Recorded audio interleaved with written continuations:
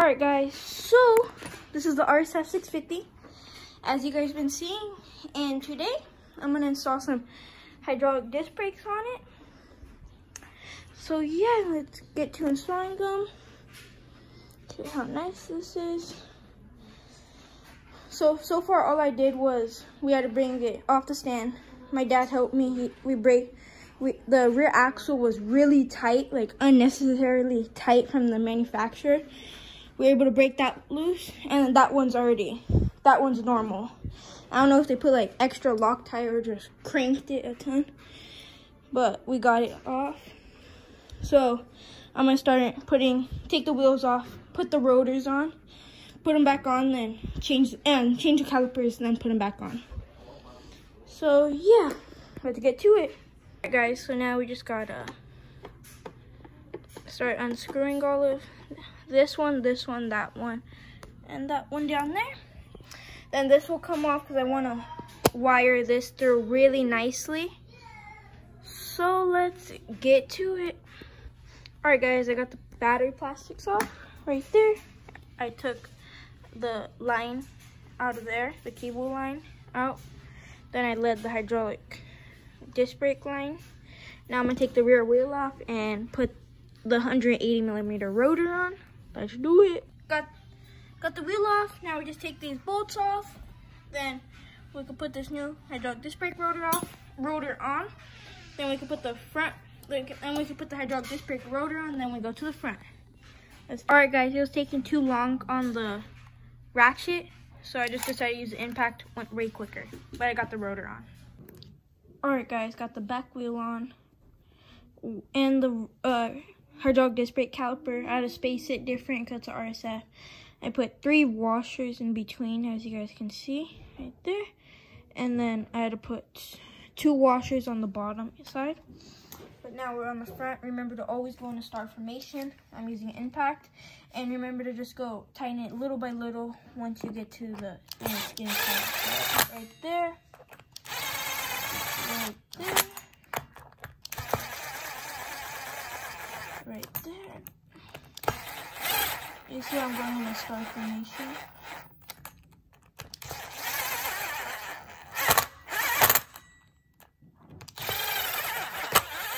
And then you start over. And start cranking it.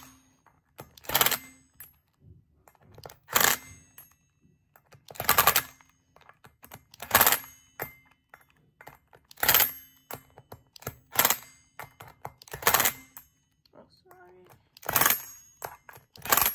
And you see, now it's done. Now we're gonna put it back on the forks. Alright guys, so turns out the front hydraulic disc brakes not fit because at the beginning of me building my YZ85, I made a rookie mistake of putting mountain bike brakes on it. So that's what happened. Straight cracked off. Look at. So that was a rookie mistake. And so, and it turns out that I used the Zoom hydraulic disc brake mount on accident and I was left over with the Shimano mount which was too short to fit on the razor and I could not get no do nothing to get it. So I'm going to have to order a new zoom mount. Hopefully that comes soon. And then redo the front. And by that time I might change the whole forks. Sneak peek of the YZ. But Alright, so I'm to get to work on that. It's like 1 right now. So on a, on a Friday, but you. Alright guys, so I just finished putting the hydraulic, all the hydraulic disc brakes on, leading it, and doing the uh, grips. So, like it. Sheesh. Then I put the surround grip, surround grip over here. Show you the back.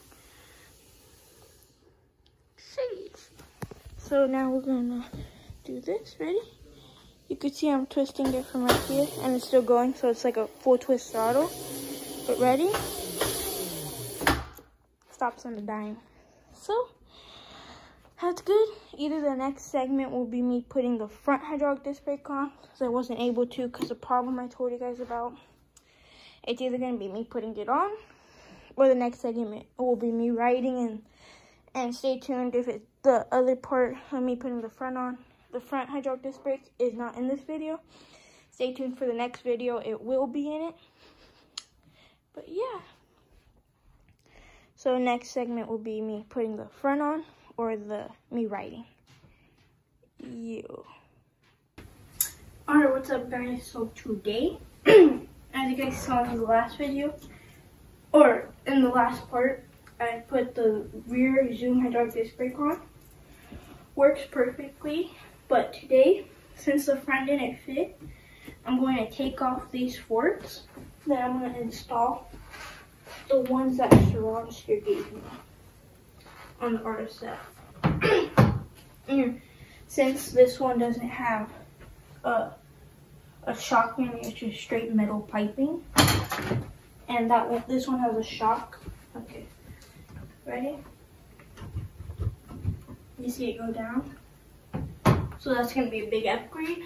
So yeah, let's start doing it. Alright guys, you might not be able to see me, you might just be able to see my head, but so first what we're gonna have to do is grab this with the pressing wrench and and break it loose like so. Ready? See? Broke it loose.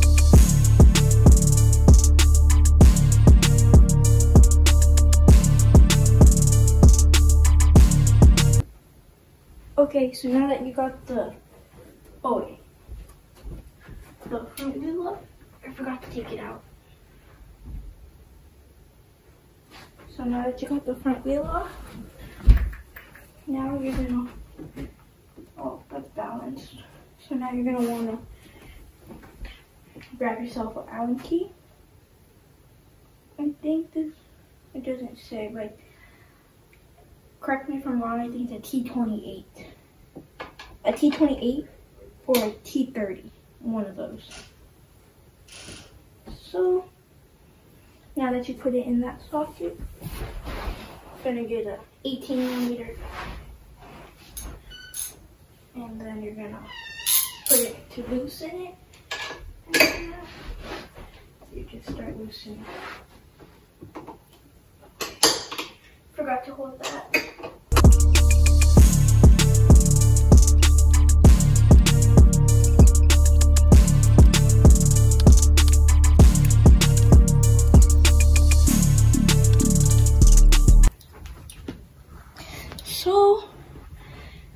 Putting these on. They should just bolt right in. Hopefully. so, um, cue time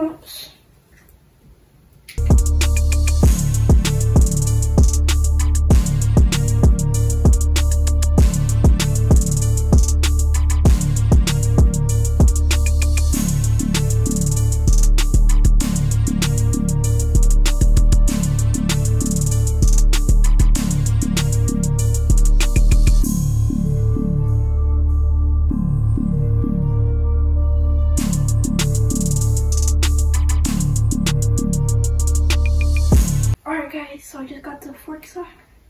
These are the old ones, the new ones are in.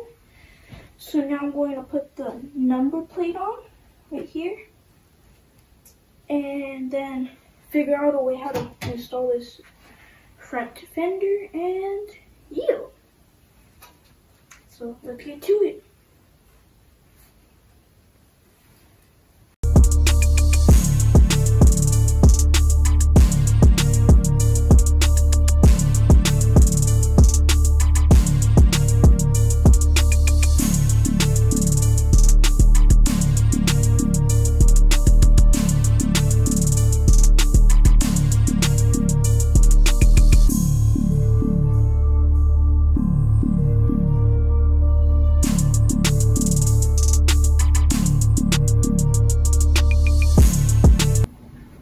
What's up guys? So, I just finished. I put the forks on.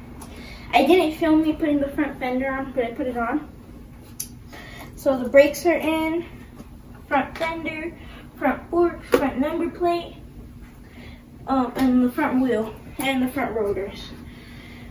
So what happened is like, I haven't used these forks in a while, so I think they lost the grease and um, became stiff.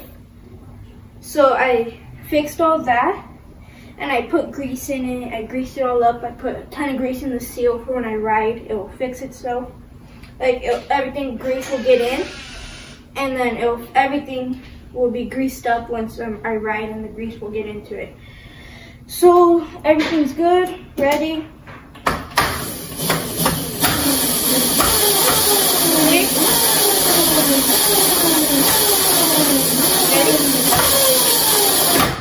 See? Perfect. Same with the front. This is hard. See? Oh. It's hard to spin it. But the front works too. And then I had to put the front fender a little more up because um, has suspension now, goes up and down. So every time I go up and down, it's gonna hit. So I had to bring it up for it to clear. So that worked.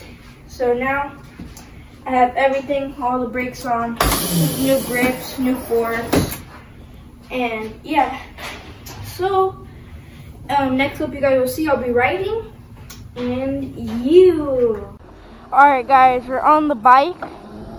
It's feeling a lot nicer. Like, let's hit this.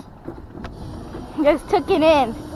Compared to the old one, you'll hit it like pop up a little. Oh, the grips feel so nice. Oh, sure, I forgot gloves. Ready? These hydraulic disc brakes. You see my wheel just locks up like it's, look at that. Just locks up like nothing. And I'm barely even clenching on the brakes. It handles so nice. My turning radius is a lot better too. Since the old ones had a stopper which you cannot take off. Since I put the new forks on, it did come off. Let me just show you guys it real quick. Look at that. Sheesh, the blacked out forks are so much nicer. You guys can't already tell. Damn, blacked out grips, zoom hydraulic disc brakes. This thing's a beast. Just wait till the upgrades come in. And, and, eh. eh. ready? So I, since I don't have brake sensors no more, push it in. Oh wait, the bike's off. ready? Burn out. Just a little one right there. You can see. Did another one right there. So yeah, this bike is so much nicer. Just takes it like nothing. And so if you guys didn't know, if you guys go back a few videos, I I built the Ronster. It's a you guys know Ronster, right? So it's a replica of his Sur-Ron that I built. And he actually came and met me and brought me a ton of parts to build one of my other bikes. And, uh, which I did. And then he also gave me these forks, which I took off one of my bikes, one of the other bikes, to put on this bike for it could have something that Sur-Ronster gave me on it because he came and met me and brought I'll put up a picture of all the parts he brought me it was a ton. Oh and he brought me a ton of parts it was so sick. He even posted me on his YouTube channel. It's where he was making a bicycle and he was turning a bicycle to electric and then he also put me on his end of the year video which thank you Sur-Ronster and he put me on his end of the year video, which that was really cool. And it was a super cool to meet him. It was so much fun. And yeah, he, he's the one that brought me into the bike community. Like um, I saw his videos and I wanted, then I built that bike. Then he brought me the parts, and then I just wanted to keep doing them, keep building them. So I just kept after I built the bike with the parts he gave me. I started building the YZ. Then I got the other bike, which I just sold. And then my parents, my family got me this bike for Christmas, which I'm going to be modding very soon. A little hint, 72 volts, coming soon. And then the YZ is being worked on with the new motor and controller. So yeah, and in the meantime, I just wanted to put the new brakes and forks on this because, and the grips, because I was just going to do the brakes at the beginning, but then the front brake didn't fit, so I was like, oh well, I might as well. So I did it, and it's amazing. And you, ready?